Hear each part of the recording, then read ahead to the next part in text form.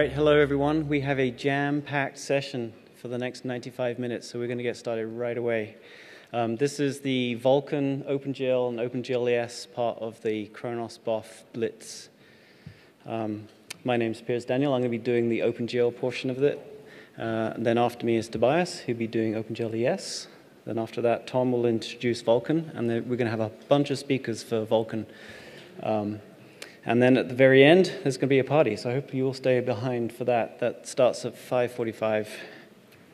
All right, without delay, let's get cracking. So, OpenGL update. You may notice that I'm not Barthold. Um, he has been chair of the OpenGL group, which we used to call the ARB group, for 10 years, from 2006 to 2016. And during his tenure, he produced 11 OpenGL releases. And this is a picture of him after his 11th release. He was quite happy to produce more, if that's what you want. Um, but it was time for him to step down and move on to other things. So thanks, Barthold, for catching OpenGL up. It needed to be caught up during that time. So. he did a great job. Um, so I, I, was voted in last year, and so this is me after my first release. Um, but seriously, um, I, so I'm the new working group chair. I'm a principal software engineer at NVIDIA. I work in the OpenGL and Vulkan core driver team. Um, I've been with the ARB group since about 2008, and, and also in the Vulkan working group as well. But thankfully, even though there's a new chairperson, we still have veterans um, on the actual spec documentation stuff. So Jon Leech is still API specification editor, and John Kessenich is still GLSL specification editor. Um, and taking over, my philosophy was that I want to just um, shepherd OpenGL um, through this transition with Vulkan now as kind of like the, the king of 3D APIs in Khronos. Um, I want to keep OpenGL as a, as a viable choice for people who need it. Um, serve the industry, serve our customers, serve you guys. So if, if, you have needs, I want to make sure that the group serves those needs and represents the vendors in the group. Um, well, that is, that is my mission. This SIGGRAPH is a big event for OpenGL. It is OpenGL's 25th birthday. In 1992, OpenGL 1.0 spec was released. I think it was in January 1992. Um, so 25 years later, OpenGL is still going strong. There's not a lot of APIs that have been around for 25 years. Um, even Win32 API has not been around for 25 years. POSIX has, XLib I think has, but um, certainly hitting a quarter of a century for an API that still works. You can get the latest OpenGL drivers and it will still run um, OpenGL 1.0 software is quite remarkable. Um, so those are all the releases that we've done um, since 1992, 19 in all. Um, and uh, it's on its 25th birthday, we have another release, which I'll get to in a second. And to celebrate OpenGL's 25th birthday, we have some swag that you can buy for yourself. Um, we have a Khronos store. There's a t-shirt you can buy, which I'm modeling right here. Um, there's a tote bag, there's a mug, and uh, who knows, some other stuff might appear and um, if you stay behind for the party, you can pick up one of these commemorative um, drink cozies or beer cozies, but you can use it for water too. Uh, and it, uh, it has the 25th anniversary printed on it. So, OpenGL has changed a lot. Back in the day, with the SGI reality engine, it could produce uh, 1 million triangles per second, and that was running OpenGL 1.0. Um, you can run that same app, that Ideas in Motion app, you can run it still today on the fastest card that uh, NVIDIA produces, which is the Titan XP. That one can do 20 billion triangles per second. Um, of course, if you use the OpenGL 1.0 API, you'll never get 20 billion triangles a second. You have to use more modern calls, but it can certainly be capable of, of rendering that. And its performance is just crazy how much it's gone um, from 25 years ago to now, um, but still, the API still works. Um, I just want to talk about one thing that's changed um, that we've evolved in OpenGL is the draw call. In 1.0, we had GL Vertex, which you just put lots of them between your beginning and the end, and you draw pretty things. GL Vertex was eight characters long, and we made it faster with draw elements at 14 characters, so that's like 50% faster, or over 50% faster. Um, and then in OpenGL 1.2, draw range elements, faster still. But the king of all draw calls has got to be OpenGL 4.2's draw elements instance base vertex base instance at 45 characters long, which is almost six times faster than, than OpenGL 1.0. um, so we've regressed a little bit with OpenGL 4.6, but even though it's only 32 characters long, it's definitely the most powerful draw call there is ever. So I'm announcing OpenGL 4.6. There are many people who contributed specs and extensions that have gone into OpenGL 4.6. Um, these are the companies um, and the, the, individuals that have contributed. Um, the design, philosophy of 4.6, it was three years since 4.5, um, um, but we'd noticed that there was a bunch of extensions that all the vendors implemented um, and it was important that we kind of compile them all together into a core specification, raise the baseline functionality um, for everybody, um, improve the conformance, um, and having a new version of GL is like a forcing function to make people actually pass conformance um, and it make sure the quality of their drivers has increased. Um, and of course, it remains 100% compatible with OpenGL 4.5 and all the OpenGLs before it, including OpenGL 1.0. Um, and uh, AMD, Intel, and NVIDIA, at least, uh, maybe more, um, implement all the functionality that went into 4.6 in one form or another. Um, just packaging up is, is yet to come. So what's new in 4.6? The banner child, the big poster um, item for 4.6 is native SPIR-V support and I'll go into a little bit more detail about that.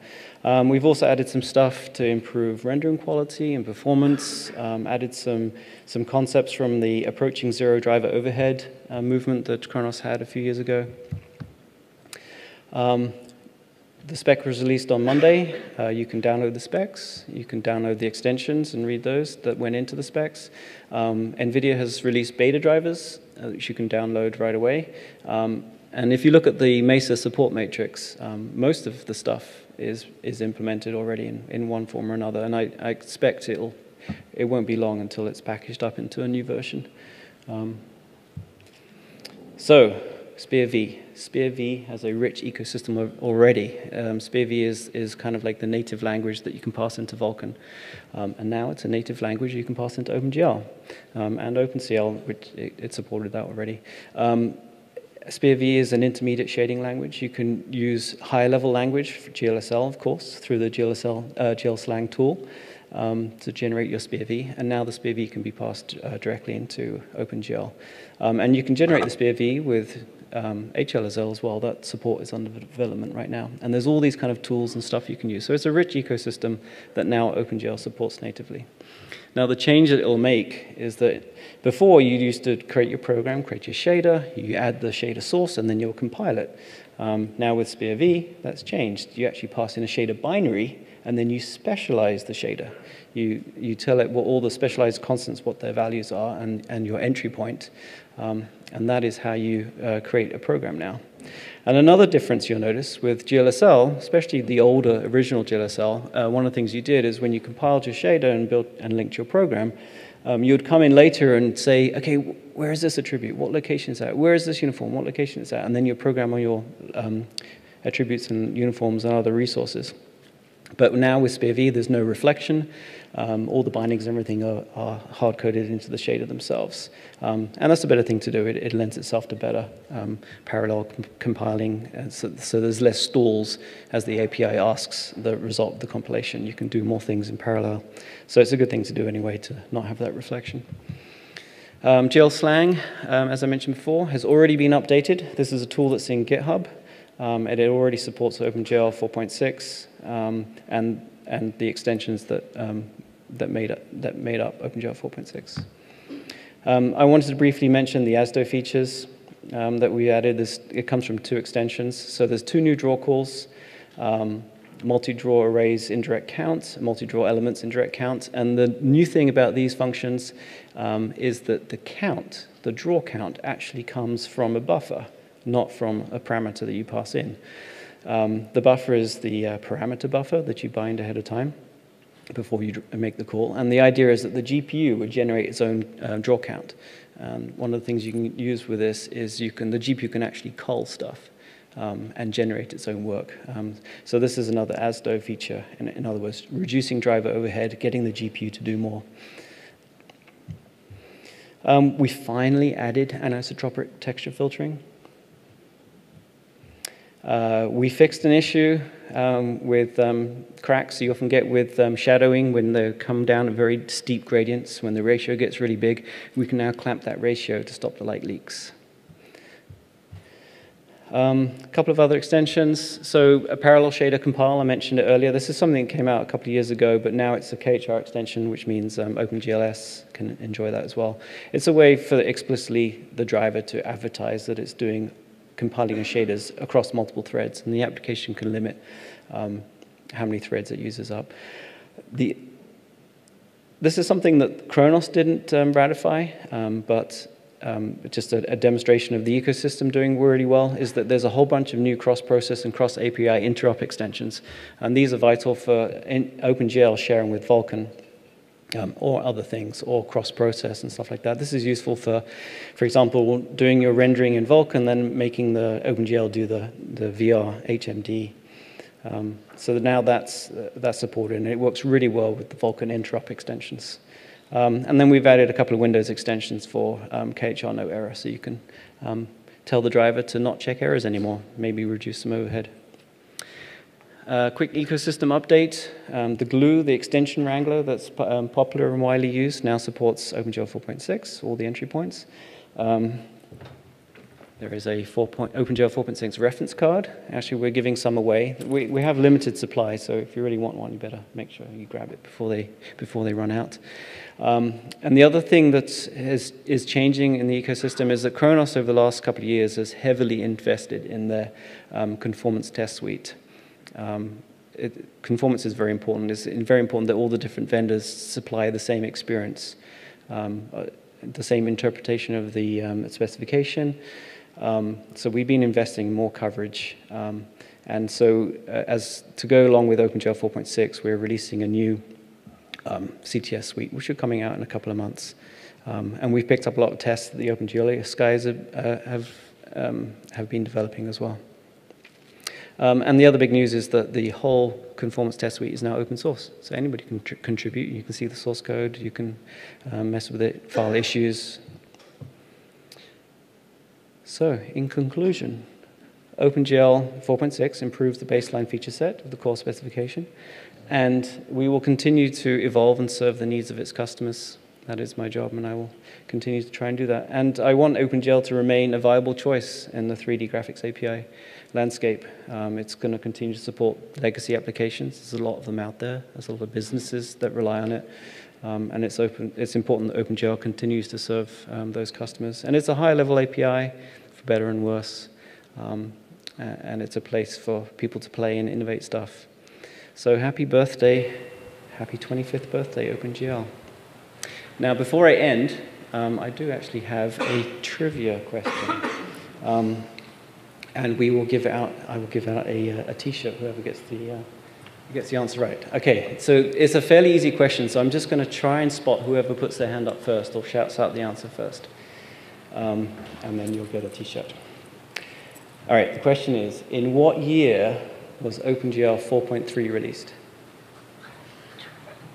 Oh, actually, I, I should said, no Khronos members are allowed to answer this question. OpenGL 4.3, what year? You can make, yeah? A no? Yes. All right. Um, yeah.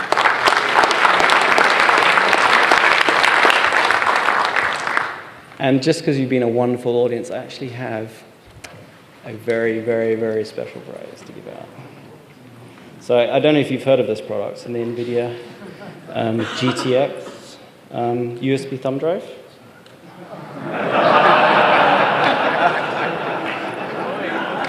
So, actually, these um,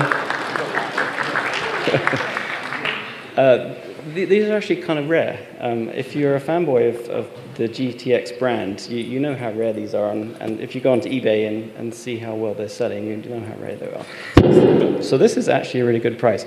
Okay, so this question is a little bit more difficult. What was the name of the API that was the precursor to OpenGL. Uh, don't forget, no, no Khronos members allowed to answer. Just, no, that doesn't sound right. Yes. Who said That's RSGL? what I say. Sorry for the accent. Oh, is that what you said? Yeah, French accent. Okay. Actually, it was GL. It only became Iris GL to distinguish it from OpenGL. I used to work on, on, on GL. All right, that's it for me. Thank you so much. Oh, I got, I got a few minutes of questions. All right, any questions? Yes. Uh, yeah, sure, yeah. We have people following online on the live stream. That's why we are encouraging people to use the microphones. Now that SPIR-V is part of OpenGL Core, are we going to get um, bindless texture extension? Good question. Uh, um, it's, we haven't started talking about it, but I, Because that would be really useful Yeah. for doing things on NVIDIA, for example, that support bindless texture. Okay. It's the right way to do OpenGL. Okay. But we can't use SPIR-V, SPIR-V now. okay, yeah, noted. Thank you. Any other questions? All right, Tobias, thank you.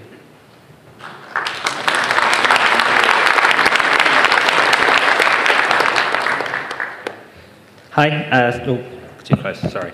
Um, so I'm here, uh, OpenGL ES chair, uh, to talk to you a little bit out of OpenGL ES. I won't be going for quite as long, and I'm afraid I don't have any cool prizes to give away, but such is life, I suppose. So, stats of OpenGL ES, um, it's very prevalent these days. Uh, you know, ES2 is basically everywhere. Uh, there's something like 1.5 billion devices out there, and they all support OpenGL ES 2. Uh, 3.x ES versions of ES are now at about 60% market penetration. You can, I, I've got that from the Android stats and from Unity's Hub statistics as well. Uh, 3.1, 3.2, kind of hard to read from those statistics, but it's, you know, it's there and it's increasing. Um, there's not, again, any plan for a new core version at this, at this point. Uh, as far as we can tell, the market need for it is being kind of displaced by Vulkan. That's not to say we're not paying attention. Um, there's still extensions being developed by our members uh, to try and fill any holes that need filling. But uh, at, at this time, we've not found any need to standardize on anything and ratify anything. Um, but as I said, we're currently still watching the market to see if there does develop a need for it. Um, so we're not going anywhere yet. Um, and whilst we're still here, you know, we are focusing on quality of life stuff, um, trying to make OpenGL ES and the experience of coding to that API much better. Uh, one of the main things that I started doing last year was addressing the massive backlog of issues we accumulated over the years, over the last what, nearly what, 14 years now. Um, and there was something like three to 400 issues that we hadn't addressed, um, and that's now gone way down. Um, we're currently sitting at somewhere about 30 issues that aren't assigned spec editors. Um, and we're probably looking to maybe before the end of the year do some spec updates for ES uh, to address a lot of those because there, there, there's a lot of stuff that's just sat waiting for spec editors to write the language that we've proposed and actually put a spec out. Alongside this, we've done some other stuff. Um, GL Slang now supports OpenGLES 3.2 uh, shaders, which has been a while coming, but is now there. So you can do verification your GLES shaders for ES32. Um, and then the other big thing really is, is our CTS effort, which I'll go into. So as Piers mentioned, our, uh, uh, the CTS is now open source. This is true for all three of our graphics APIs, ES, Vulkan, and GL. It's all a shared code base, in fact. Um, and some of the sharing, as Piers pointed out, about them taking on some ES coverage, we've taken on a little bit of GL coverage as well, as we've now got a shared code base, so that helps. Um, it was open source in January. It, it did take a while. We've been saying for a few years now that we'll be open sourcing it. We did finally do it. Um, there is one small remaining part that is closed source. Uh, we're poised to remove the dependency fairly soon. Um, I don't know the exact release date yet, but sometime hopefully before the end of the year that will be gone, uh, and the whole thing will be out there. So there's been three re releases so far. Um, we're still very much on top of adding new stuff um, and getting features tested that weren't being tested in the past. Uh, we've secured funding for another year of development, and well, actually less than that now. But it's addressing a lot of important holes of coverage. And again, the backlog of issues we've had with both CTS and the spec and any spec changes that needed changing, they're being done and addressed now. Uh, in terms of extensions, we've had a lot of EXTs added to the registry over the last year and uh, one KHR extension, which Piers mentioned. It's actually kind of annoying. I wanted to tell you about that at the last SIGGRAPH because it was released about a week after SIGGRAPH last year. But, you know, such is how things go. Um, but uh, obviously some shared extensions here that also, you know, GL has. Uh, in fact, most of these, uh, there's a few novel ones. Uh, there's a number of minor features and uh, platform interactions, and again, there's the content sharing stuff that you've also got in GL. Uh, these are all for importing memory objects and synchronization from mostly Vulkan, but also from platforms as well. Uh, so that's all I've got to say on OpenGLES. Uh, I assume I have a little bit of time for questions if anyone has any, but otherwise we'll go to Tom. Does anyone have anything to ask? Okay, thank you. Tom?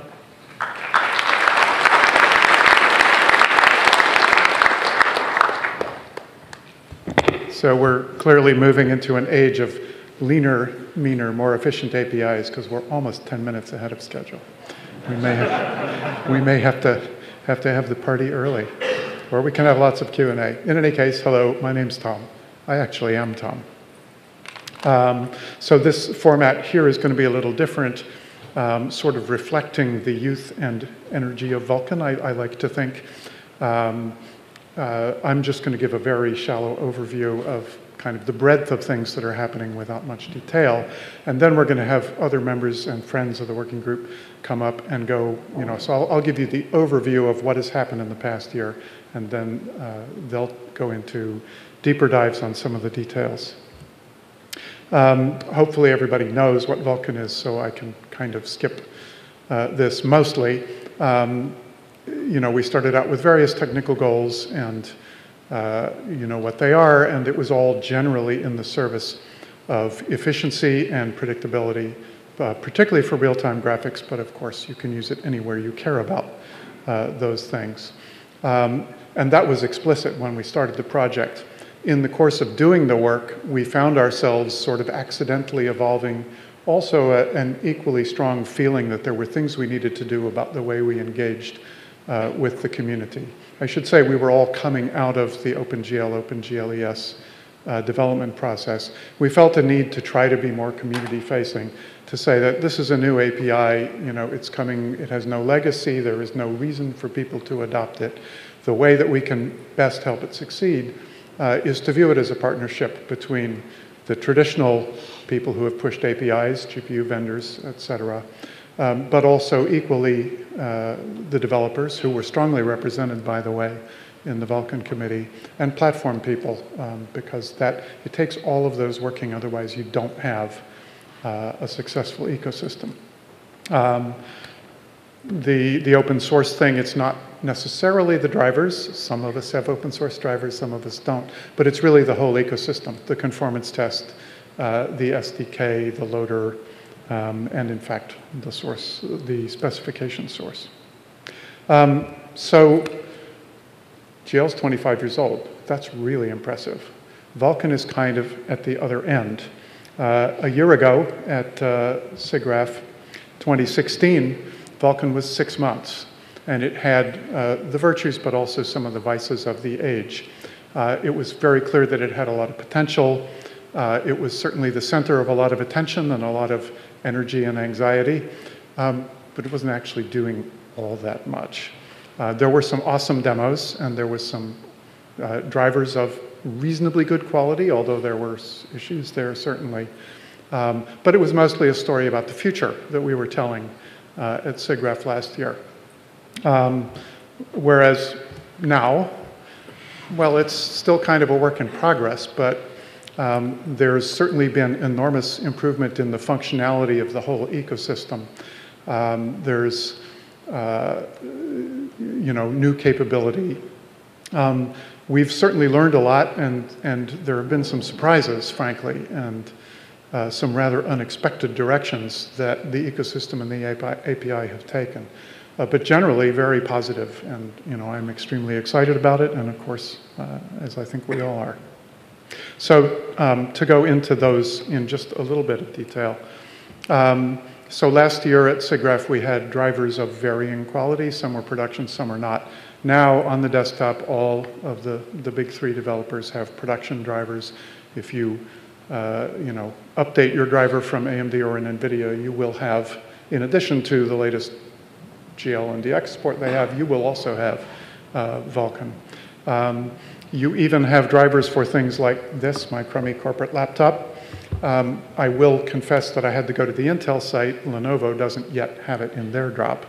Uh, but yes, I can get a, uh, a driver for the, in, uh, the Intel embedded graphics in my APU.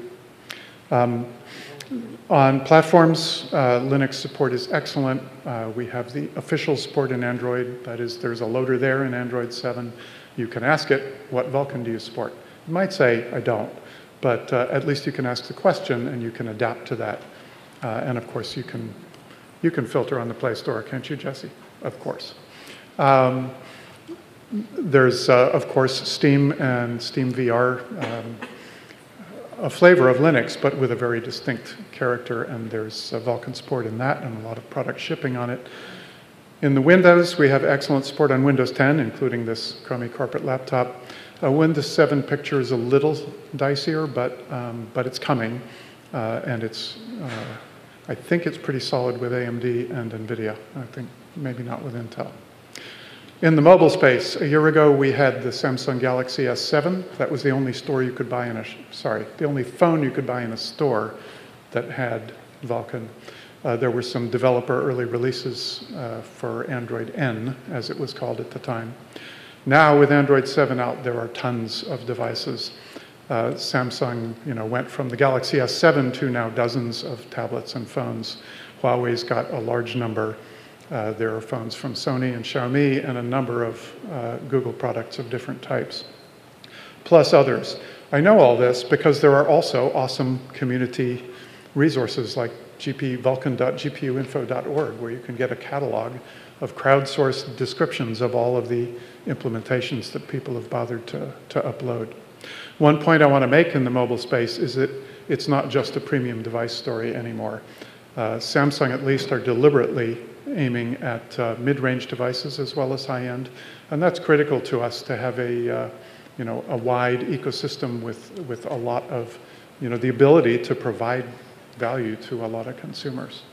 Um, and I should say it's not all phones and tablets either. We've got uh, special purpose devices and gaming entertainment focused devices like Switch and Shield.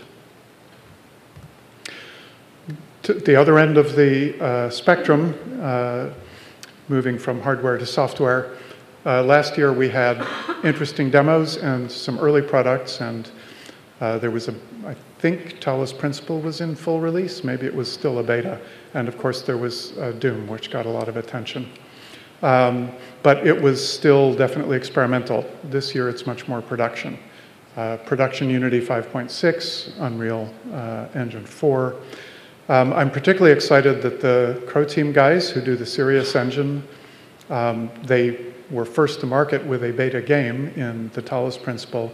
They've since announced that they're doing all of their new products with Vulkan paths. So Serious Sam, you know, up through uh, the latest and greatest uh, are adding Vulkan support. Support in the Oculus SDK for VR, um, as well as, of course, Steam VR uh, there's a beta of Mad Max, and as of last week, there's a beta support for Vulkan in uh, the Crytek CryEngine. So that's pretty awesome. And there are rumors of uh, varying degrees of credibility, pretty robust in the case of Quake Champions, uh, a little more speculative for the others, but Ashes and uh, Wolfenstein as well. So those are coming, but they're not here. And that, of course, is just the desktop. In mobile, there is tons of stuff happening. I'm not going to go into it in detail, but uh, it's you know really awesome having the support in Android 7 provides a ready channel uh, for people to uh, push content um, to capable devices. Um, you're all engineers, so you also want to see numbers. Pretty pictures aren't enough. Uh, these are the download stats for the LunarG SDK. Thank you, Karen. Where did Karen go? There she is uh, for the data. Um, you know, it's a noisy signal, of course, but the bottom line is that uh, the download rate has doubled since, uh, since launch, so that's good. On GitHub, another of my favorite measures of developer interest, a year ago there were about 400 odd projects in, that connected on GitHub that were Vulkan related in some fashion. That's tripled. I'm going to highlight just two. I just learned, they're not the best, but I just learned about them, so I'm really excited about them.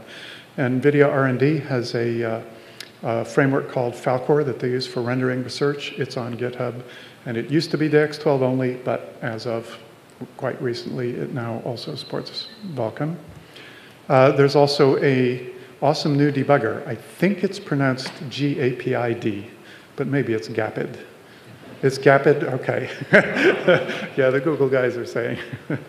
okay, so GAPID um, uh, is a uh, new debugger focused on Android, but it handles all of the, uh, um, the Android graphics APIs, so GLES, GLES2, and Vulkan, and has a number of awesome features, but I'm behind schedule, so I'm not going to talk about them, but ask, ask us later.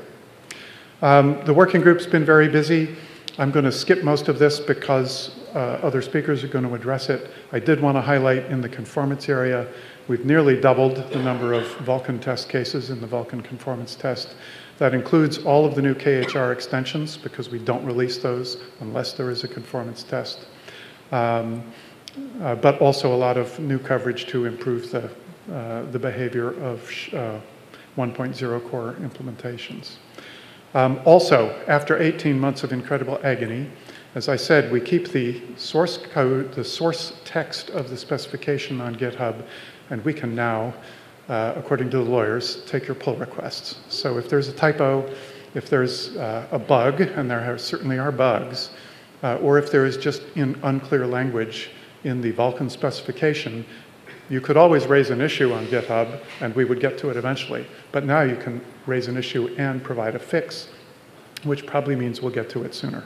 So we, we uh, encourage you to do that. Um, so uh, without further delay, I'm going to turn it over. Um, Jan Harald is going to talk about uh, some of the new extensions. Neil Trevett and Ralph Potter will talk about people who are building things on top of Vulkan or extending the reach of Vulkan in various ways. Hai Nguyen will, uh, from Google will give us the latest on the state of HLSL support in Vulkan. It's actually quite good. Uh, Karen will uh, introduce some new features that have been added to the ecosystem recently. And for the grand finale, uh, Ralph Caloca, uh, sorry, Rolando Caloca will uh, give us the state of Vulkan support in UE4. Okay? Um, sorry. Jan Harald, please come up. By the way, they're going to start bringing in food and drink maybe as soon as 5.30, but they're not going to let you have any. So don't run for the table as soon as they come in. Hang here, do the Q&A, and I promise at 5.45 we'll break.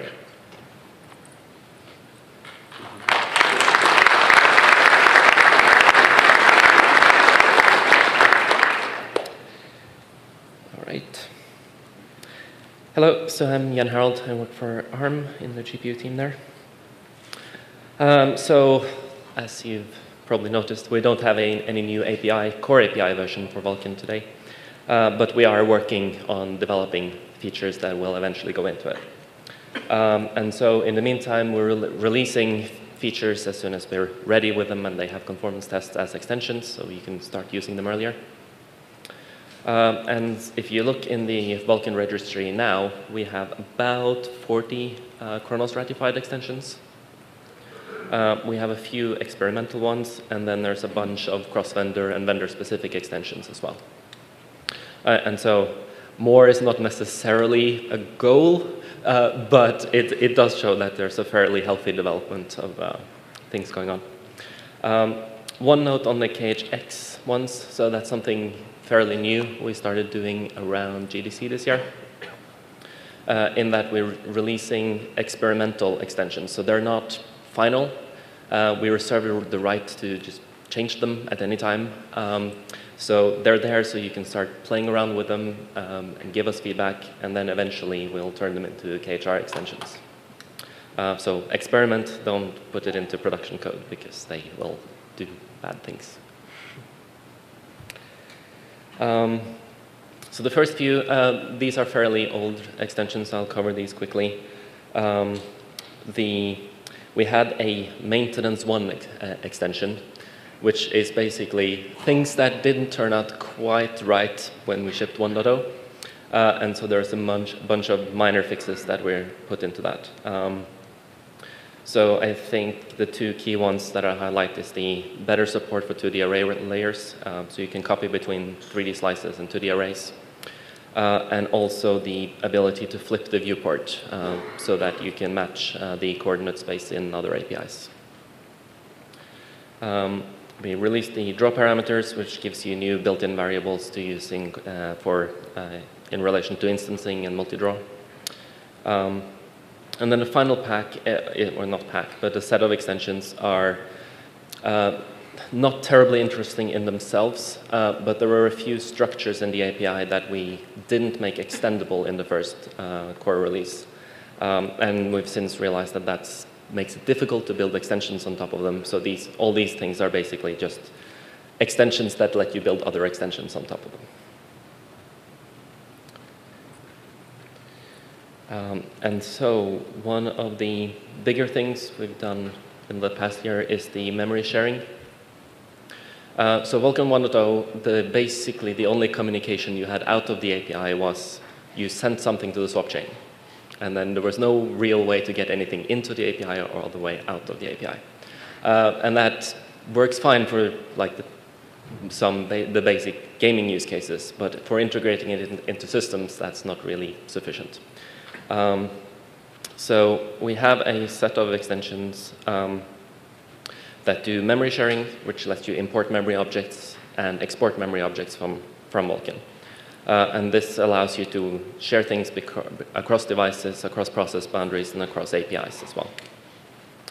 Uh, and the way these are structures is, structured is that there is a sort of independent, uh, platform-independent core, which is the basics of the API, uh, and then there are platform-specific um, types, memory types that you can import. So file descriptors for Linux-like systems and Win32 handles for Windows-like systems.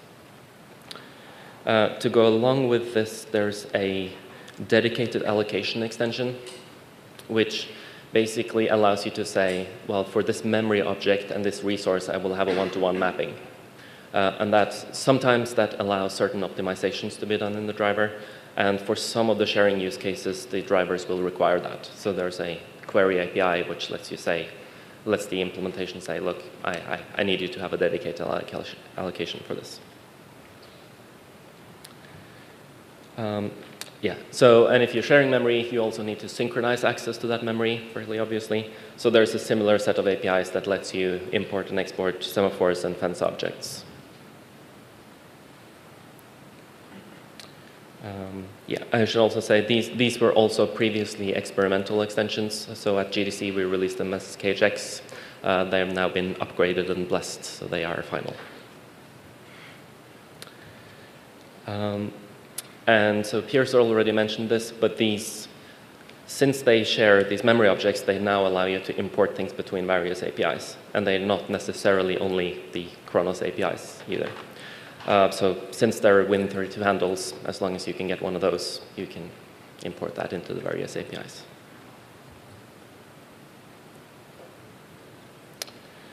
Uh, another fairly big gap in the in initial release of Vulkan was the multi-GPU support.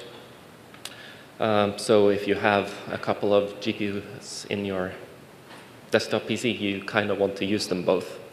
Um, and so that's now, um, these extensions, the device group extensions let you do that. Um, so they, and, and they give you explicit control over what runs on which, uh, which GPU. Um, and the basic mechanism they use to do that is that all of the API works the same, and then there's a device mask that gets inserted in various places in your command buffer, in your render passes, uh, and in your queues, which let you specify, well, this goes to that GPU and that goes to that GPU. Um, and so some of these features, like the memory sharing, is also important for uh, the VR use cases. We also have a couple of things more directly related to that. So there's a multi-view extension, uh, which is similar to the extensions we've previously had on OpenGL. Um, but they basically let you record a, a draw call or a command buffer that can go to multiple views expressed as an array texture. Um, so this saves the number of commands you need to do to draw through your multiple views. Uh, and this is specified as an additions to the render pass structure. Uh, so the render pass now can have multiple views in it, and you can have a view mask which lets you say, well, which of the which of the views that the, a particular draw call goes to. Um, the shared presentable image um, gives the um, display and the GPU access to the frame buffer at the same time. Uh, so basically, this is front buffer rendering, uh, which you really, really need to cut down your latency. Um, and the incremental present is an, well, not, not related to the VR use case, but related to composition, where you can provide regions that have changed, and so that you can pass those through to the compositor, and so that you can avoid recompositing things that haven't changed. Um, another couple of things we've done um, yeah, is to add a couple of extensions that change the way you update uh, descriptor sets. Um, so one thing with, that was uh, given as feedback um, to Vulkan 1.0 is that often when you, if you want to update large amounts of descriptors, you basically end up with a, the application setting up a whole bunch of these write descriptor set structures every time, and then you call the update descriptor set function. Um, but if, you, if it's the same set of things that you update very often or every frame, uh, then it may be able to do, may be possible to do things more efficiently if you just bake that information once. Uh, so the, the update template lets you do that by uh, setting up all your offsets and number of descriptors and all that once. You store that template, and then you can pass that in inside with your application-specific structure, and then uh, the uh, necessary copies happens as part of that. Um, we also added something called push descriptors. So we had push constants in the original API. This is kind of similar. Um, so it lets you update a small number of descriptors directly in line in the command buffer. Uh, and this basically gives you a more GL-like update model of descriptors. Um, so it has some pros and cons. Uh, one of the pro pros is that it may make it easier to port existing contents. So if you have existing stuff that calls you know, bind texture for every um, draw call, um, this may be an easier path.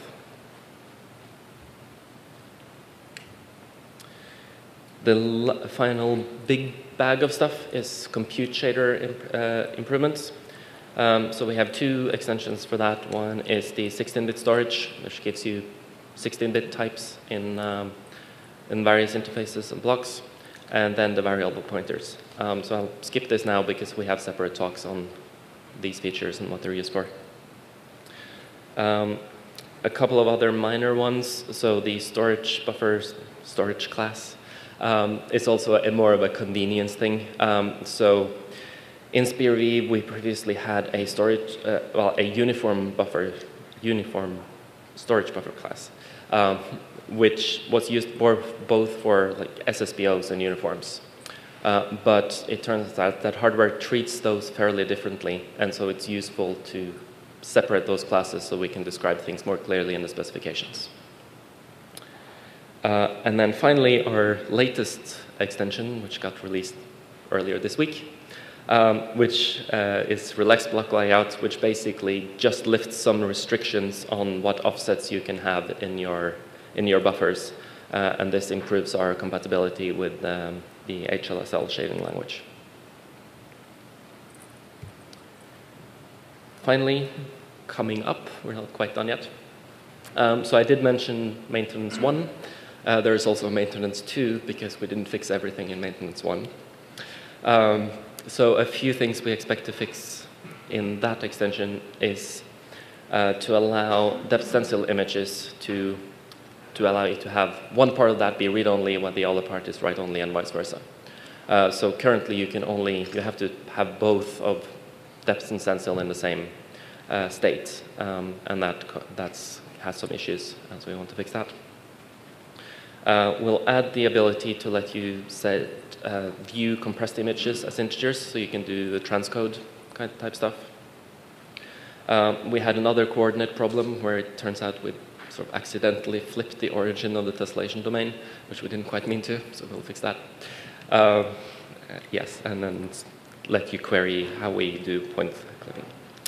Um, subgroup operations, um, A being for um, shader, um, shader model 6-like functionality uh, for that.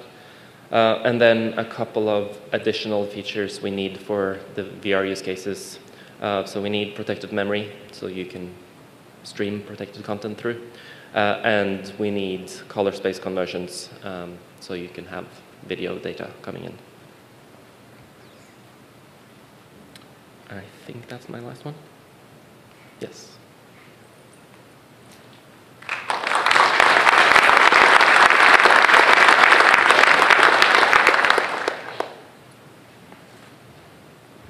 Okay, I'm going to spend a couple minutes talking around about the Vulkan Portability Initiative. And the first question is, why do we need Vulkan Portability Initiative? Because Vulkan's already portable. Uh, it's been designed from the get-go to be implementable on pretty much any system. But Vulkan is not available on every system, not for non-technical reasons. Uh, some DX12 systems and certainly Apple systems that are now uh, only shipping metal as part of their platform definition. So that creates obviously an issue for uh, many developers, people developing games engines, native apps that need to run everywhere, and browsers, which are also, of course, a universal application needs to run uh, everywhere. It's the number one question I get asked uh, about Vulkan is when can we get Vulkan on Apple? So we figured we'd try and help this, this problem. back at GDC, we went out there with a straw man saying, well, perhaps we should de design like, like a hybrid API. We should munge these APIs together, find an API that can map uh, effectively wherever you're running to the underlying uh, APIs. And thanks to you guys, the community, we got some really wise feedback and several dope slaps saying, don't do that.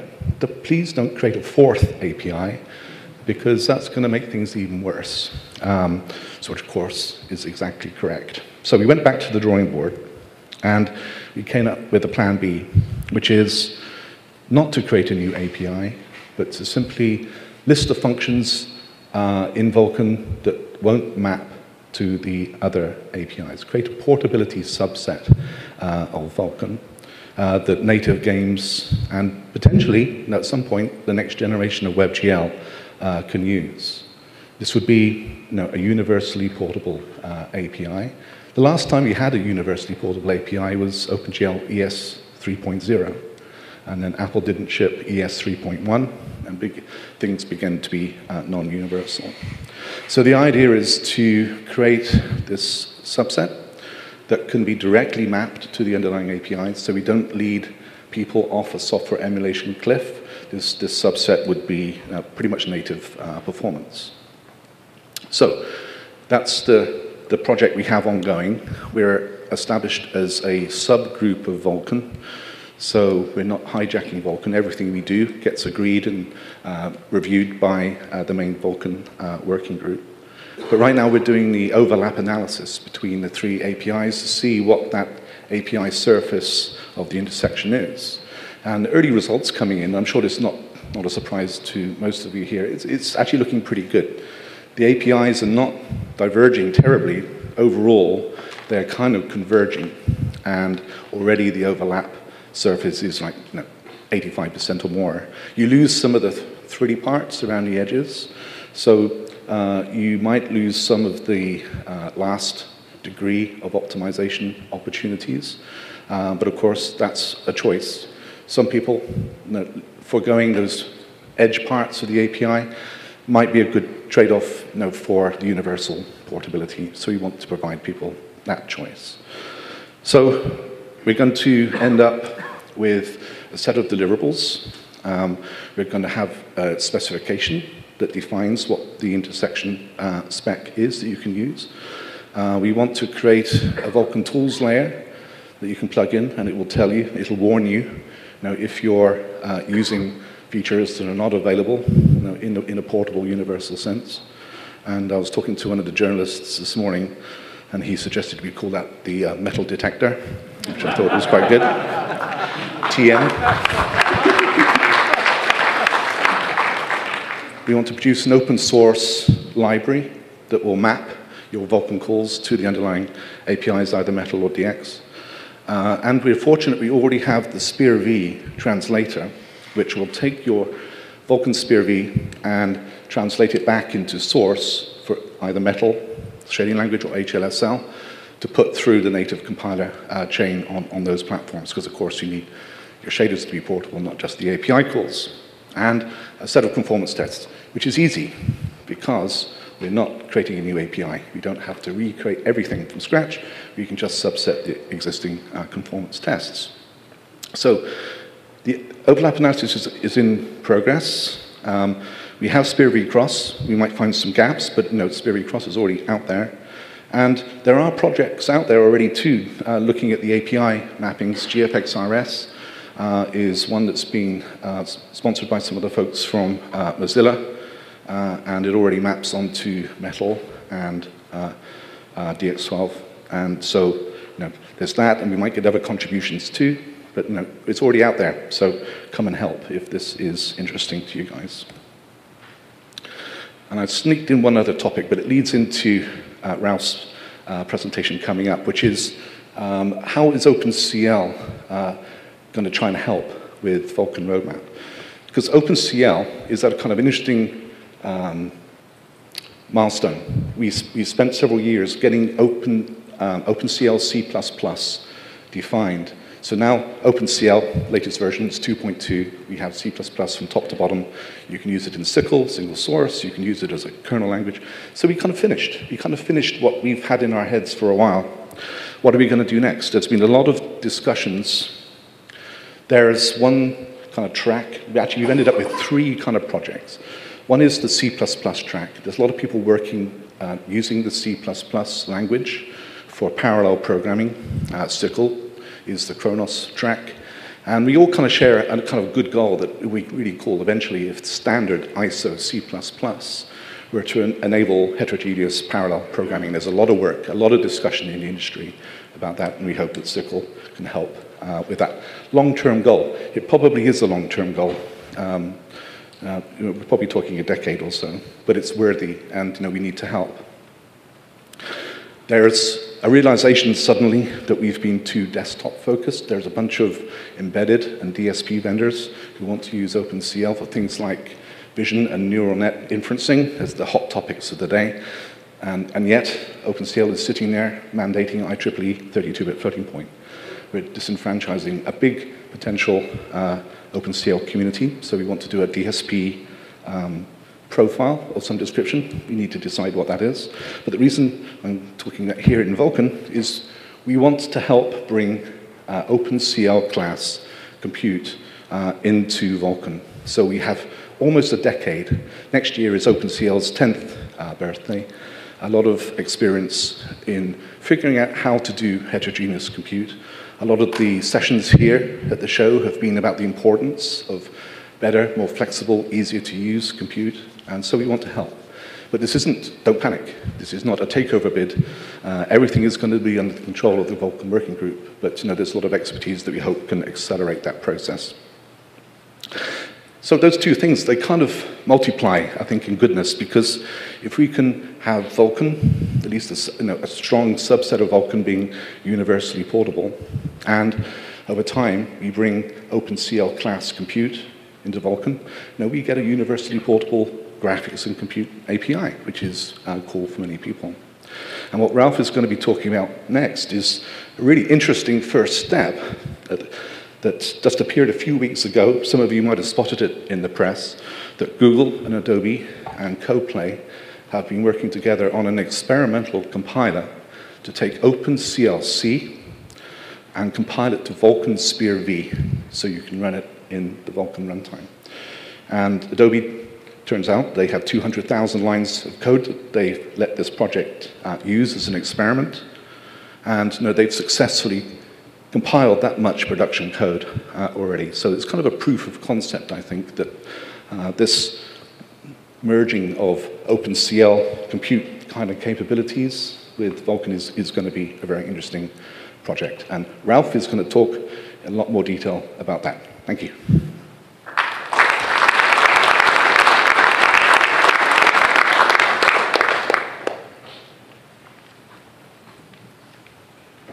Hello, everyone. So I guess Neil's done my introduction for me. I'm Ralph. I work at Codeplay.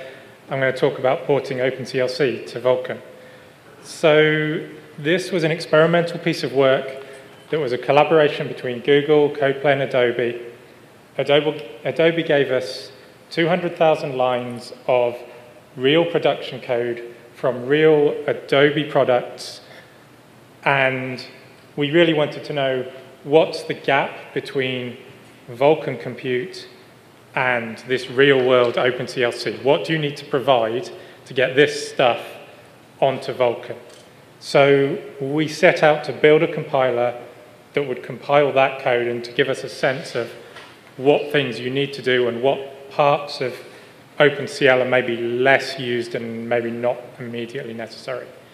So there's a bunch of things you have to resolve, and it basically comes down to the differences between Vulkan SPIR-V environment and OpenCLC's requirements, or alternatively, OpenCLC versus GLSL. So it, it's things like pointers and fixed size types, um, certain things to do with control flow and that sort of thing.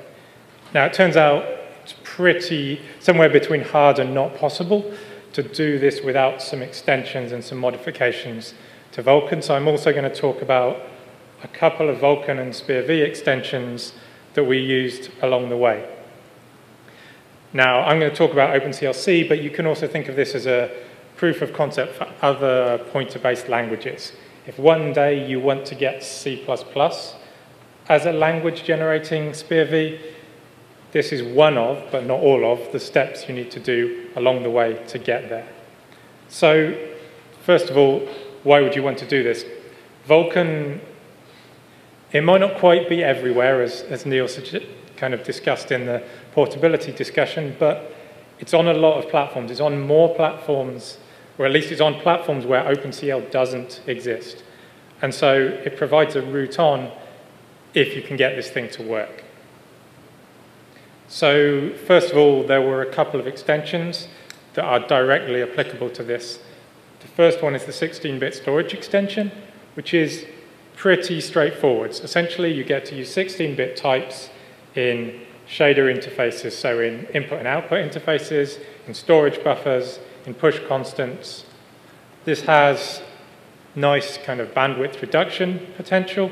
It also helps us deal with fixed size types in OpenCLC. So OpenCLC allows you to declare kind of a short integer, for example, and we need a way to do that. The extension only gives you load and store and conversion to and from 32-bit types. It's not giving you the full compute, but it will still be enough to do the bandwidth reduction, and you can promote to larger types to, to do the rest. The other thing we needed is the variable pointers instruction. This is not quite general purpose pointers everywhere. What this gives you is a per invocation pointer which can dynamically point into storage buffers and optionally into workgroup storage. So you can't get a pointer to a private variable, you can't get a pointer to a function variable. The Vulkan compiler still has a lot of latitude about what it does with those things, but for externally visible storage, it gives us pointers and it gives us a way to dynamically manipulate them, do, do address computation, select between multiple buffers and that sort of thing. So moving on to the compiler itself, it's a prototype OpenCLC 1.2 to Vulkan compiler. And by prototype, I mean it will blow up on you in certain circumstances. It's definitely experimental. It tracks the top or the top of tree of LLVM and Clang. It's not a fork. So you can just go to GitHub, um, pull the actual compiler, pull the latest releases of LLVM and Clang, at least as of two days ago when I last tried it. Um, and it should all build fine against tip of tree, LLVM, and Clang. And essentially what we're doing is some work to map OpenCL address spaces to SPIR-V storage classes. We're translating OpenCL built-ins to the extended instruction set for Vulkan. Um, and we're doing a bunch of work to map pointer arithmetic down to these variable pointers and to deal with the complexities of things like typecasting that you can do in OpenCLC, which is a little less friendly in SPIR-V. So the basic flow is that you feed in an OpenCLC file, we feed it straight into essentially something close to the stock Clang um, front-end library. That generates the, what was the old version of SPIR prior to, to SPIR-V, which is essentially LLVM IR. And then we have a bunch of internal LLVM module passes that massage that into a form that can be safely consumed by a Vulkan runtime. So we can emit a SPIR-V file, and we can emit a second file that essentially tells you what the descriptor maps are that you need to correspond to the kernels. So on the left here, I have a sample OpenCLC kernel. It's pretty straightforward. The one thing of note is that we have a select between two pointers based on our global ID, so our invocation ID in, in SPIR-V. Um, and if we start to translate this into SPIR-V, the first thing we're going to do is just translate our buffers, what are storage buffers in Vulkan. We get some pointer access changed to those. You could do that without the variable pointers instruction. That, this is, that's just a uniform static address calculation. Um, we map the get global ID built in in OpenCLC down to just a read from the global invocation variable, which is unfortunately somewhere off the top of the slide, but we can't get all of it on the slide. But this here is a dynamic select between two pointers. Without the variable pointers extension, we couldn't have implemented this particular line. Um, then here we're just uh, doing a division based to, to do our kind of compaction here and getting an, another pointer chain to our destination and doing our final write. So it's, it's pretty straightforward, but there are a few bits that we couldn't have done without the extension. Now, there are some limitations. Um, there are some OpenCL built-ins that simply do not have Vulkan or GLSL equivalents today, so those are not supported. Similarly, there, are, there is support in OpenCLC for very wide vectors, which we don't have in Vulkan. And also, we've kind of taken the easy way out, and where OpenCL has very strict precision requirements for compute, we just went with the default precision that Vulkan SPIR-V provides you. Pointer sizes, or pointers remain unsized as they are in SPIR-V, so you can't do size of on a pointer. Um, we don't have byte addressable types, but despite all of these limitations, out of the 200,000 lines of code that Adobe gave us, there were 30 lines that we had to modify in some way, and all of them, once they were modified, the modified code went straight through the compiler. So in reality, at least for Adobe's real-world code, we're pretty close. There are some things that are missing, but that's where we are right now. And on that, I just want to acknowledge Google and Adobe for their help on the project, and then I'll pass on to the next speaker.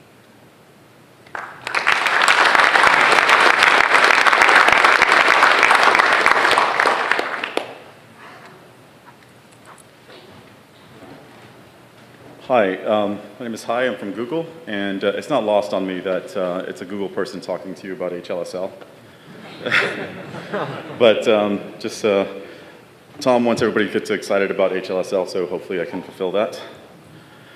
Uh, so here the, here's an overview of the um, of the high-level items that uh, we'll cover in this talk. It's it's very quick. Uh, first of all, is how does HLSL work in Vulkan, and after that are the the three compilers that currently exist for Vulkan. Uh, all right, so how does HLSL work in Vulkan? Well, by compiling to SPIR-V. Pretty straightforward. Um, initially, Vulkan had pretty much all the necessary bits to support most of HLSL. Uh, most of the required plumbing had a direct uh, mapping of concepts from what was required in HLSL to Vulkan. Uh, some of the other concepts that didn't quite fit in um, required a little bit of jiggering, but eventually it worked.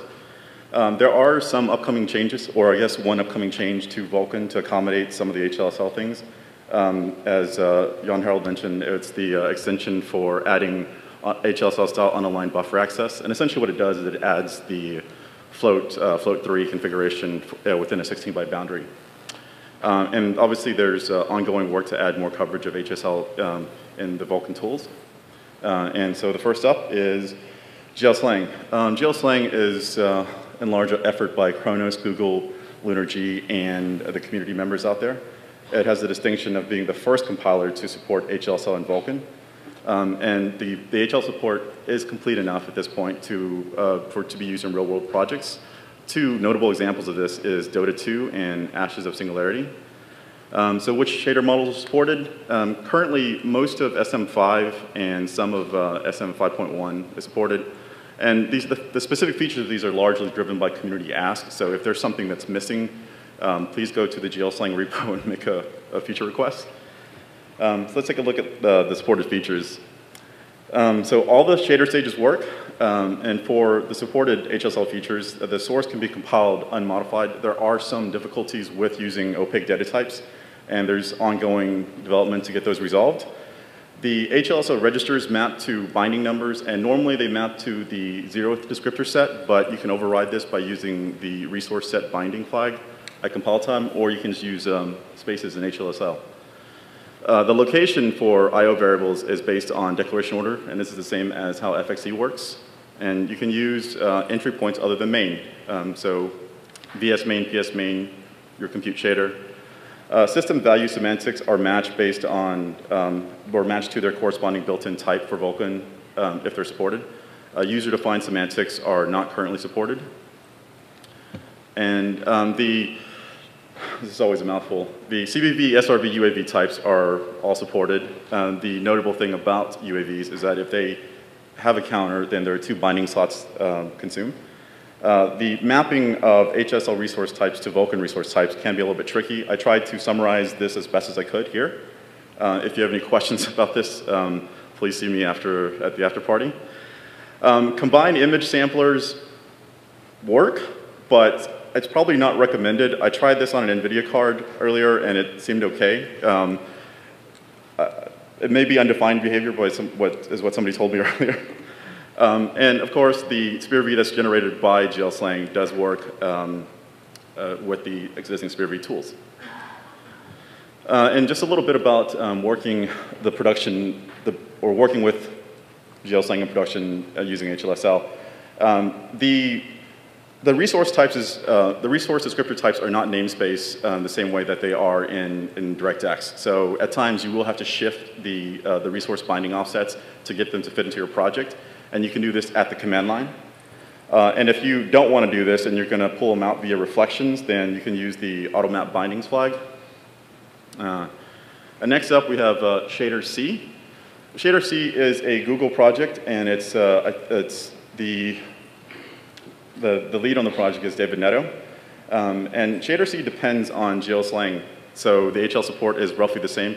There is a slight bit of lag because ShaderC uses its own uh, GLSlang repo as opposed to the one at Khronos. Um, and ShaderC can also optionally execute SPIR-V opt as part of the build process. The, um, when you're working with the flags in ShaderC to change the binding offsets, they're slightly different, um, but they pretty much do the same thing. There are some, uh, some different limits. Um, default limits. Uh, uh, an example of this is the, uh, the default, the max draw buffers. It's, it's 8 in shader C, but it's 32 in GLSlang.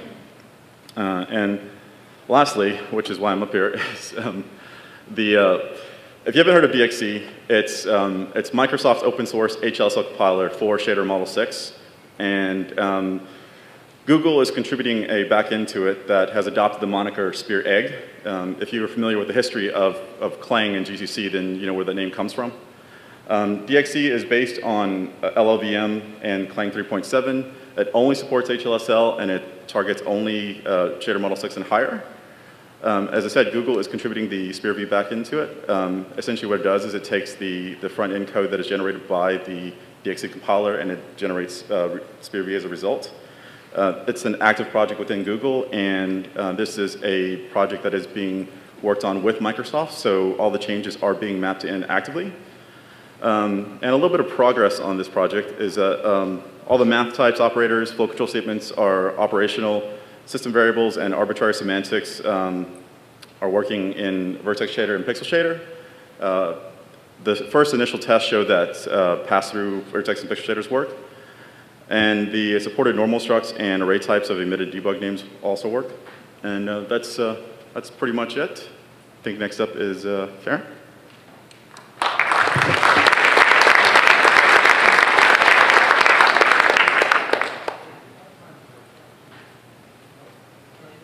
Sure. Questions afterwards? Okay. Hi, I'm Karen Ghavam from LunarG, CEO Engineering Director. So mine will be pretty short and fast. I just wanted to introduce a couple uh, new in, um, additions that will be um, seen in upcoming uh, SDKs. Um, and they're already available out on the GitHub. So I'm going to talk a little bit about the LunarG, LunarG device simulation layer and also some new SPIR-V optimizations that we've been working on. And of course, if you have any questions or want to have any uh, dialogues with the engineers who actually did this work and are 10 times smarter than me, but I'm smart enough to know to hire them, feel free to send email to info at LunarG, and I'm sure that we'll be able to get any questions answered that you may have. So, starting out with the LunarG device simulation layer. It's a layer that sits in between the, the ICD installable client driver and the application. And the purpose of this layer is to enable some application testing when you don't have all the hardware in your possession. And it does this by modifying capabilities that are returned um, from Vulkan queries. And the device configuration is actually defined by a JSON configuration file. And um, use cases might be, for example, you want to look at, you know, fallback paths in your code in your application when lesser capabilities are present. Um, is my application really doing what I want to do? Or you may want to test for like unintentional assumptions you might have in your application um, that when you remove some capabilities, suddenly some new validation errors will get triggered if your application isn't written to be able to accommodate that situation. Or you just want to constrain the resources that are available to your application and see how it will behave in that environment. So um, we felt like this would be a very useful tool to help application developers when they're testing and they can't buy all that hardware or have it all in their possession. They can begin to do some testing on this.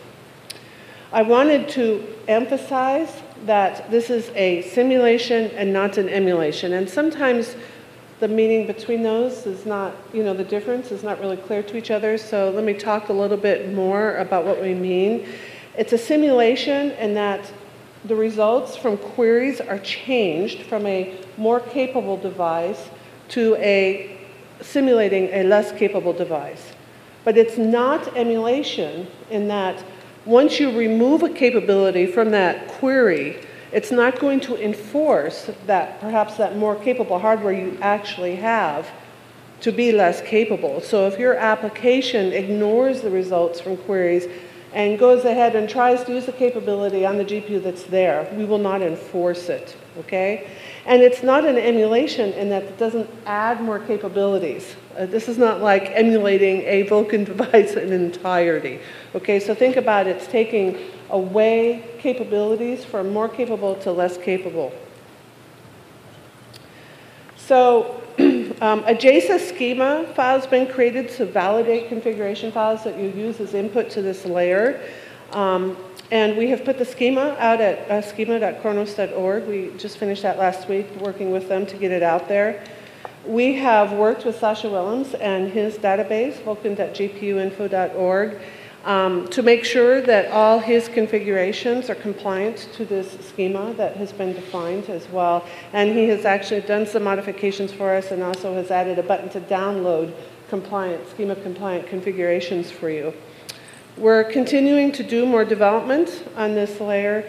Um, this is it's just the very first release, preliminary. We want to start looking into adding extension support, meaning add the existence extensions or remove the existence of extensions so an application can see how it will behave if an extension is or is not there, or modifying formats such as RGB formats, stencil planes, etc., We're looking at memory and queues. Gets a little bit more complicated there because it's not a matter of just removing some capabilities out of a larger set of capabilities. You have to figure out some mapping um, for types and families. So we would love it if anybody has some use cases or suggestions or input on, you know, how they could see that might be useful for them during their application development. So it's available now. You can find it out in the LunarG Vulkan Tools repo. The developer was Mike Weiblen at LunarG. Please submit issues, questions, enhancements, whatever you have to Vulkan Tools. We will be putting the binary for this layer in our next SDK release that we're planning to do very shortly after SIGGRAPH. Um, and it, you can also contact Mike Weiblen directly if you would like to, to have some dialogue with him. So that was the device simulation layer. Moving on, different topic, context switch here. We've also done some work um, working with um, David Neto a lot at Google and also Dan at Valve on doing some SPIR-V optimizations. So we all know that the size of SPIR-V is, is a challenge for some people and something that, you know, people are interested in finding ways to bring the size down of their shaders. So we have done some work to do some optimizations focused on size. And um, so what you'll see on the left is a, a typical workflow of someone coming from HLSL or GLSL to SPIR-V. Um, SPIR-V opt in the middle, we have made some modifications in there to do these optimizations. And the optimizations include inlining or store load elimination or aggressive dead code elimination um, and common uniform elimination. And uh, we worked very closely with all, we did this, we ran it through all the shaders for Dota 2. Um, and we ran it through other shaders from some other ISVs that I'm not privy to really be able to mention here. But of course, your mileage will vary, but what we did see is that we would get to less than 40% of the original size of SPIR-V by using these optimizations. Um, and then we did a comparison of how does it compare to DX bytecode if I'd taken HLSL and created DX bytecode. Um, and so we're less than 40% larger than what we would get with DX bytecode. So some very positive size reduction results with these optimizations. So what's next? There's more work to do here, but we wanted to make sure this got out and, and we made it, you know, people aware that these optimizations exist. We want more coverage. Yes, we have put thousands of shaders through it, but as you know, the more shaders, the more usage, the more robust and higher quality that these optimizations will get. Um, we're going to work on inlining, um, no growth uh, optimization, you know, time improvements, and loop unrolling. And we're also going to do some exploration around constant folding and carbon sub, sub-expression elimination. So please use it. Submit your issues. Copy greg.lunarg when you submit your issues to, you know, so make sure that he sees them. If for some reason you're uncomfortable with submitting your issues publicly, that's okay too. You feel free to contact um, Greg at LunarG, um, and he would be willing to assist you as well. So I think that was it. Rolando is next.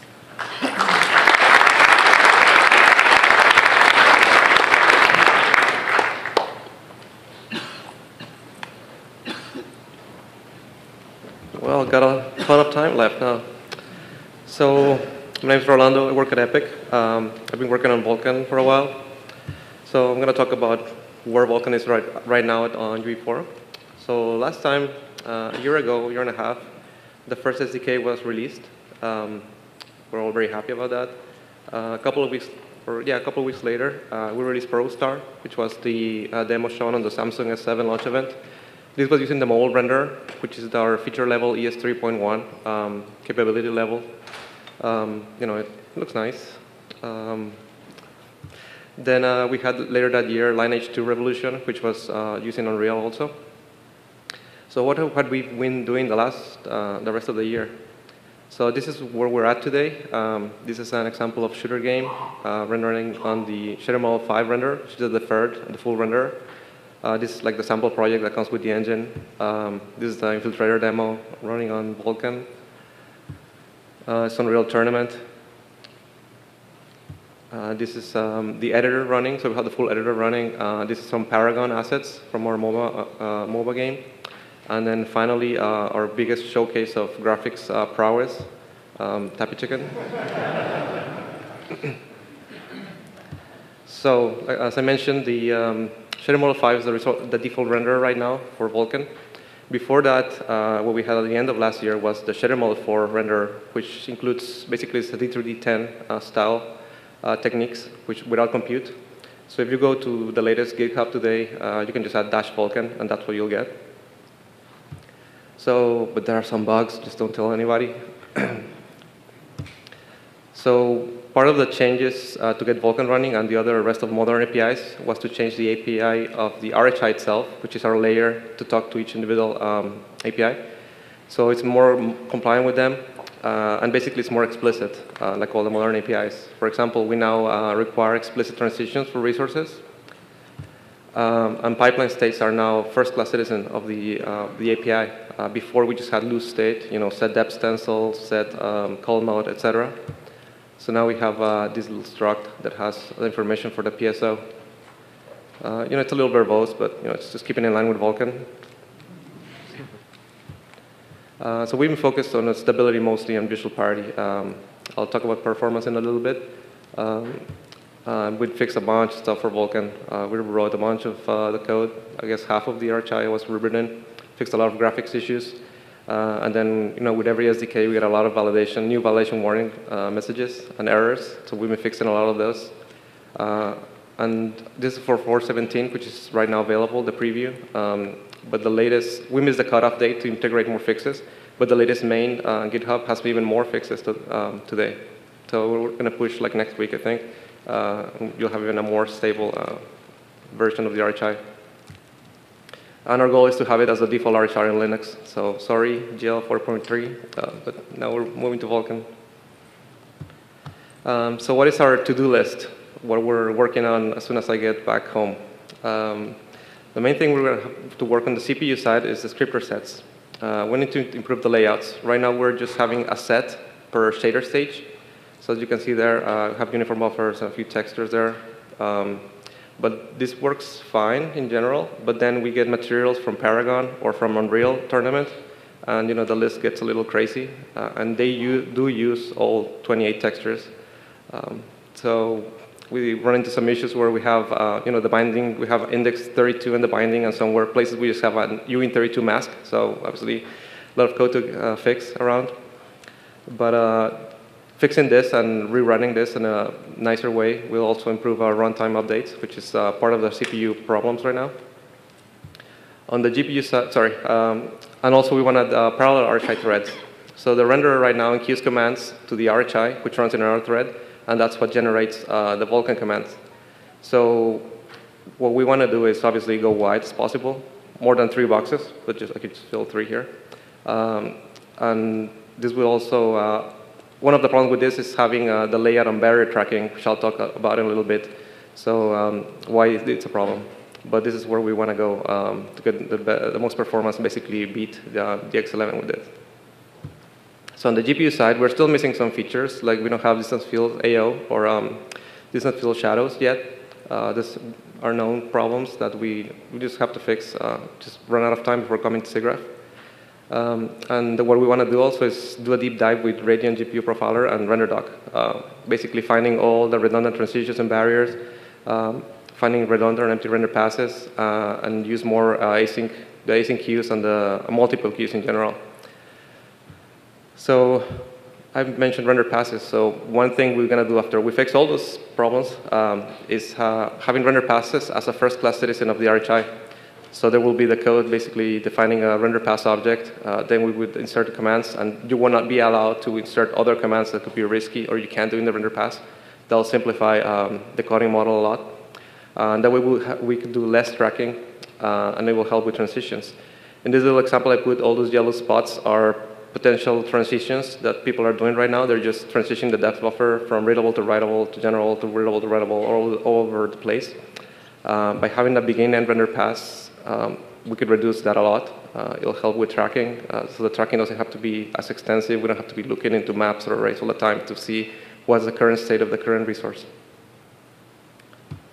Uh, another big thing we're doing, and this is a huge change, is uh, we're going to have support for offline, or cooked, as we call it, um, pipeline shader objects, pipeline state objects. Um, so the problem with Unreal right now is that it allows you to do a lot of stuff. For example, we have the classical, oh, I want to dynamically spawn a point light with atmospheric fog for a skeletal mesh that has morph target is in a blueprint. So that means we had to compile all the shaders before that could have any combination of those uh, modes.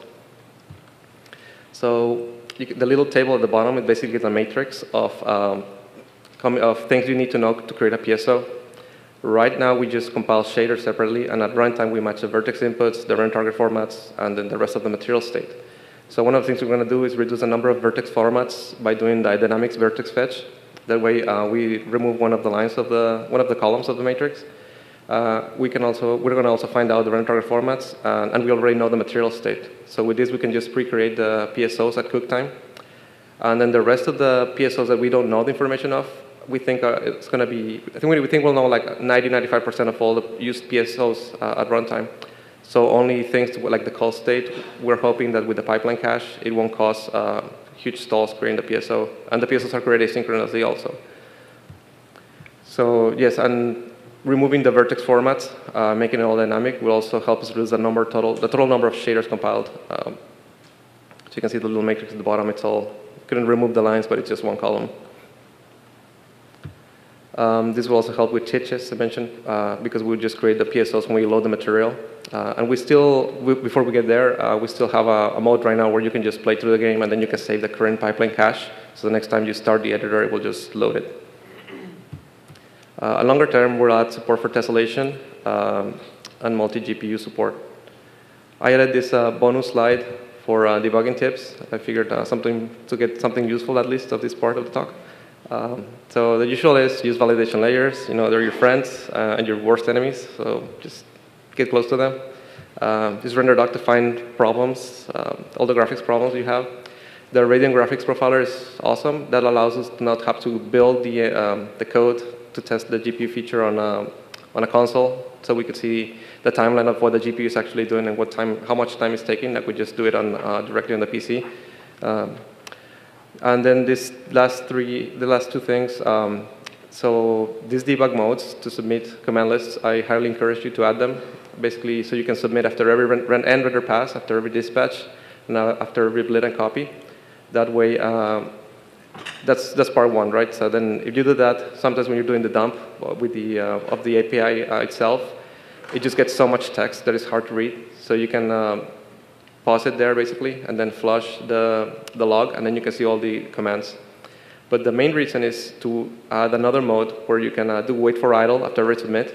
And this is great for tracking uh, GPU hangs, which we had a lot.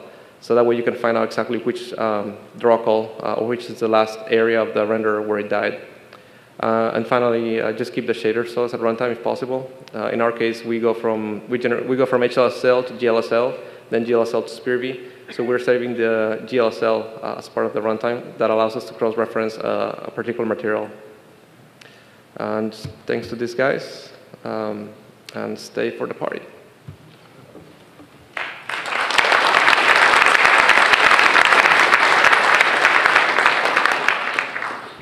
Thank you, Rolando. Well, so amazingly, we're ahead of schedule, very unexpected. Um, we kind of, because we were so expecting to be late, that's why we kind of didn't stop for Q&A before. But we can do Q&A now. I think, so there's uh, audiovisual guys uh, filming. I don't know if we stand there, will, will you be able to see us or? You can stand somewhere close to the stage where there's light. okay, so, so speakers, if you could come on up. Even, even Piers can come up if he wants to, if you've got more GL questions. Um, and we have a mic there, and can we, can we have a runner with a mic, I wonder? Uh, if, it's just, a, again, because we're streaming, it's really nice if you ask your questions online. Okay, Emily's going to... Line up right here. Okay, so yeah, if, if, people would come up front and, and uh, fire away. Hello. So I have a question for uh, uh, Vulkan and uh, Unreal. Uh, um, what's the performance? Uh, have you done any performance measurements uh, on the games that have been shipped on Vulkan? None of the games that have been shipped myself. So we have a mobile team. Um, those guys deal with the, that part. I help them a little bit. I've been focused myself mostly on desktop. Um, because of all the things I mentioned, we're still, we're sometimes, we're on parity with D3D11, sometimes a little faster, sometimes a little lower, maybe plus minus 10%. Um, but you know, we expect to be 50 or 60% faster once we go uh, wide on the CPU. And um, uh, how, how, does it look on the VR front? Uh, I, I, don't know a lot. There's okay. a VR team. Uh, we know we're working on a bunch of different um, APIs. Uh, I don't know how much I can say, to okay. be honest. I appreciate it. Thanks. Someone else, surely. So I was curious, you know, from with SIGGRAPH 2018, what's some of the goals you guys are optimistically hoping to see Vulkan at next year?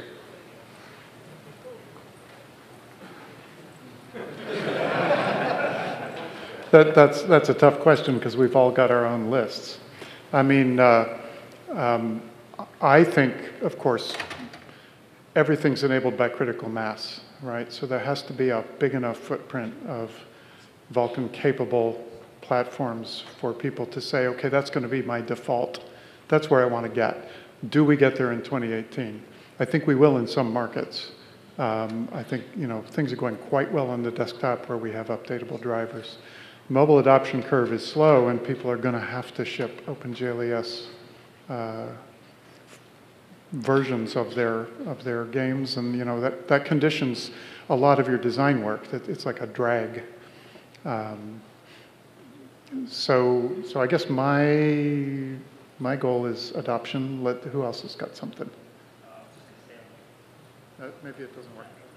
All right. To say on the OpenGL ES front, um, one of the things I would say is that um, if you're thinking, oh, maybe I'll target ES 3.2, at this point, Vulkan is basically tracking at the same rate as ES 3.2 is. Um, so it's kind of, it feels like it's more of a first choice, at least if that's what you want to do. I mean, there's still people who are going to want to code to a lower level than an engine or whatever who will be attacking ES 3.2, but uh, I think a lot of developers now will be targeting Vulkan um, at that rate.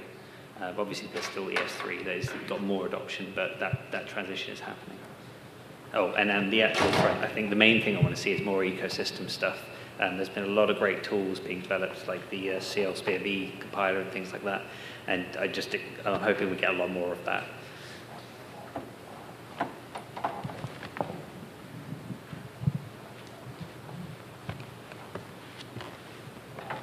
Well, from a LunarG and an ecosystem perspective, um, the last year and a half, we've been very heavily focused on validation layers. Um, the progress that's been made in the last year has been phenomenal in actual coverage, but it's not done. And actually we'll probably never be done, but I would say from a year, a year from now, I would like us to have the valid usage checks that really matter completely done.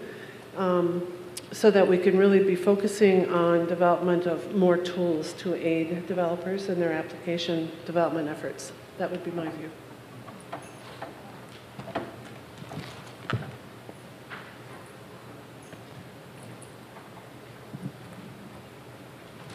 Okay, I guess I guess we're we're short on vision here.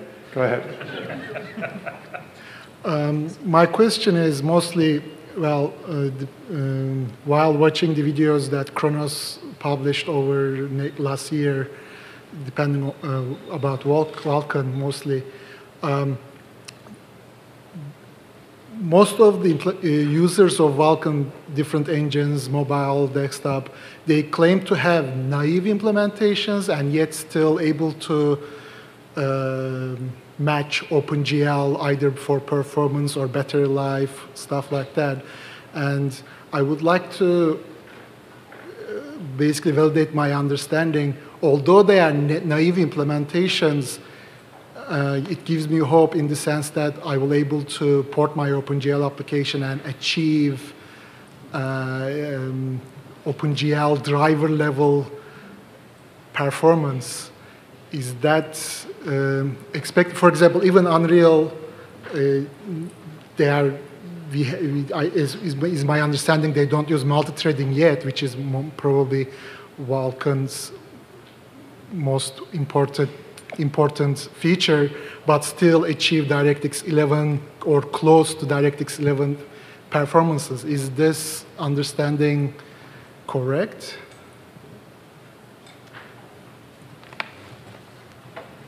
Yes, correct. It's only it's only one of me, unfortunately, and I get pulled to other stuff. But I mean, we're we're working on. it.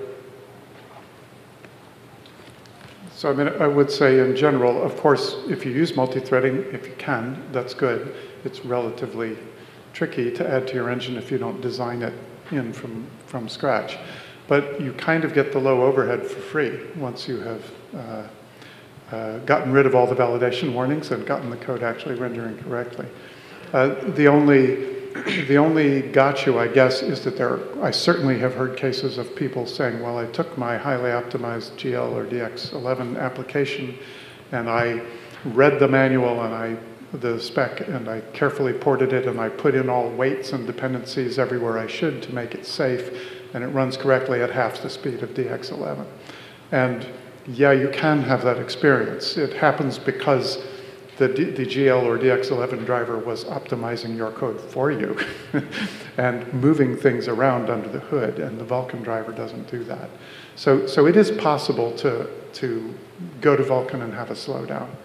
Um, it's, um, you know, it, it, the guys, guys are naturally humble and maybe undersell a little the work they did in getting those early applications working. So my question is again to Rolando. Um, you mentioned a little bit about uh, layer transitions. So I was wondering um, if you had any chance to uh, profile um, the different image layouts or you know those kind of things that you have. Like you know, is there a difference between having it in like the general layout versus having it in like read only, for instance? Yeah, we'll well we get the we've heard a lot that we should not use general ever if possible. Uh, okay. I think that's like a known thing, but we haven't measured because we didn't have the tools yet. But now last week, you know, with the, that rating thing, uh, I think we'll get better numbers and see exactly where things are hurting, like how much really you gain or not. But uh, I haven't measured it, so. Okay, thank you. Hi, so thanks to all the speakers for your talks. Um, one of the questions when you were presenting about the um, the portability initiative, uh, this group working on um, getting Vulkan on all these different platforms. So you, you obviously presented all the work that's going on that you know has you know a technical solution to some of these problems, and there's a couple different efforts going on. Right. Is that group also going to look at some of the you know political and communication problems, or is it going to be purely technical? You know, is there someone that's trying to open a line of communication with you know, the metal devs and, and their managers to say, hey, let's, let's get 100% matching? We, we always want to build bridges. We, we're, it's kind of like a core value. We never make enemies. We want to open up communication channels. Um, and you know, the portability API you know, is what, whether or not the web community uses it in the end, and there's still value in the native um, side.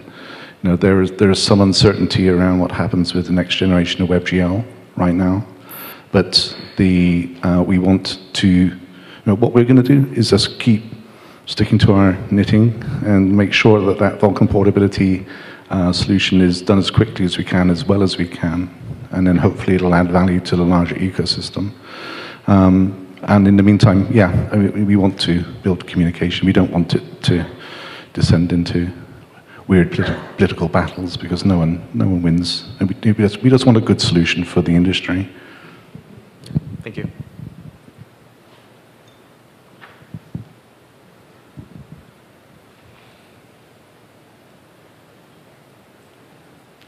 Anyone else? We don't have the food yet, so we need more questions. We can do. We can have the food at any time. I have, I mean, th there was the question about about 2018. Well, so, so big visions, you know, my big vision is that we're continuing to grow and expand the footprint and becoming a preferred target. Um, but lots of short-term technical objectives, like uh, Rolando talked about the importance of being able to inspect time course of events and benchmark uh, and analyze your performance better. We have some ideas for trying to do that at an a, uh, implementation independent level. That's, it's, it's a hard, hard problem because different hardware has different ability to support that kind of, of inspection. But that's certainly something we're very, very interested in doing and any ideas that people have, we want to hear. Yeah, and uh, just to one of your comments, Tom, where you said, "Oh, no one has any vision." I think it's probably worth pointing out that we do have some, well, quite a lot of it for where we're going with Vulkan, but we're not ready to talk about most of it yet. So, don't don't worry. I promise you, it's in safe hands.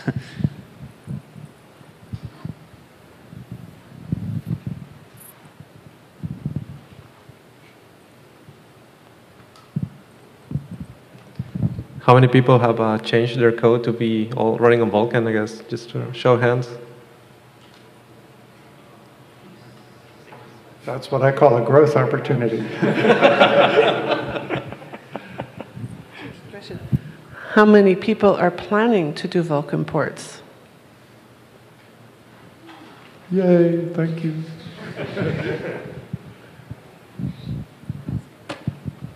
Actually, I, I had a question. Um, I'm allowed to ask a question? Okay, good. Um, I had a question for Hai. Um, you talked about three different tools for generating SPIR-V from HLSL. What's, is there any guidance about which one people should use?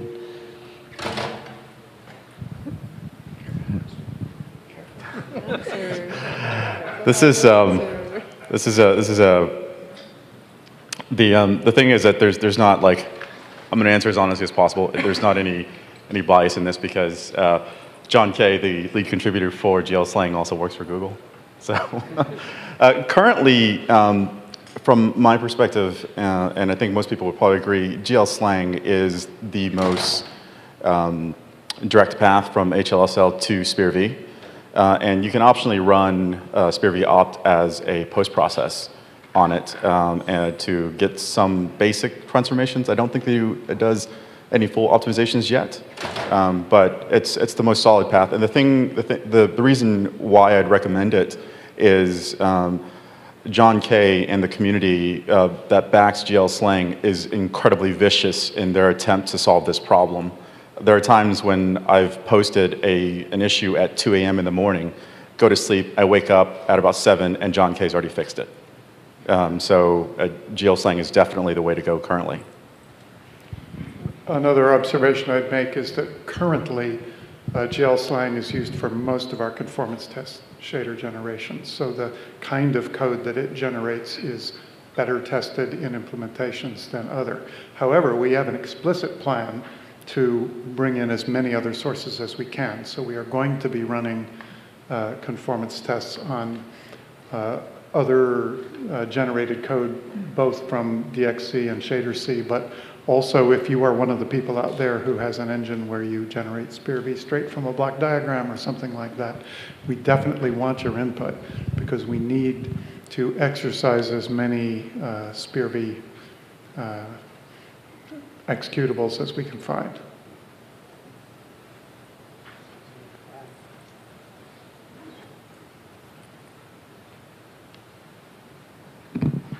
Came up with a question after that last answer. Is there any plan for a SPIR-V validator? I could take a, a, chunk of what's supposed to be SPIR-V code and see if it's actually valid SPIR-V. That, that is something we have had on the roadmap for a long time, recognizing that people wanted to generate it and needed a way to check that it's syntactically correct. I don't know the state of that project. I don't. It's pretty good, right? We have one. We do, we do have one. Okay. Uh, it's it's, uh, it's never going to be perfect, but it's uh, it's workable. So it's up on GitHub under the Khronos group. Yeah. Yeah, it's in the SPIR-V tools. It exists. Um, I know we use it internally. Um, I don't know the state of it. David would know for sure. Um, but it's it's certainly better than not having it at this point. So. So, you know, we, we invited you all to ask questions. I've, we've certainly got questions for you too. we are interested. You can tell us now, or you can tell us uh, privately during the party, but we're very interested to know. Okay, so not that many people have have built uh, systems yet, judging by the show of hands, but maybe some of you are just shy. Um, we need to know your points of pain. We need to know uh, things that you just have trouble understanding because, you know, let's face it, it's not the most transparent and simple of APIs. It reflects the complexity of the hardware that it, that it exposes. But, um, you know, what are your priorities for us? Those are useful things to know. Just had a question of if you had a new programmer, how would you actually teach them to do either graphics or compute now? Sorry, to do? Graphics and compute. Oh. What would be your favorite way of teaching them now?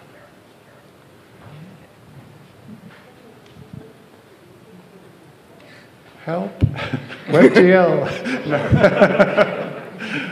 uh, no, I mean, Vulkan is explicitly, you know, I, I like to say Vulkan's not a graphics API in any stretch.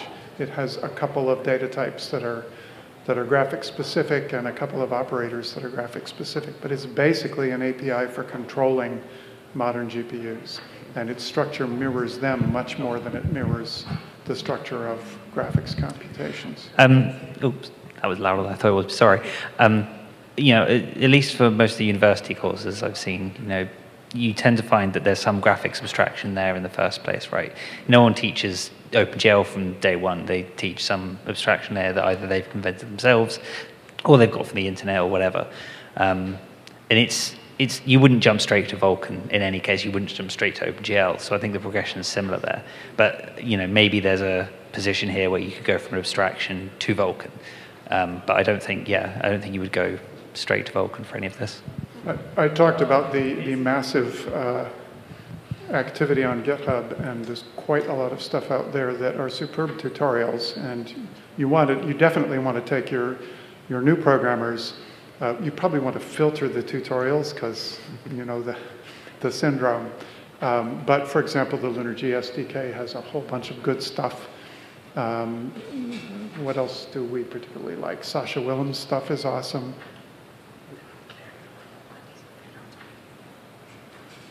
Oh, okay.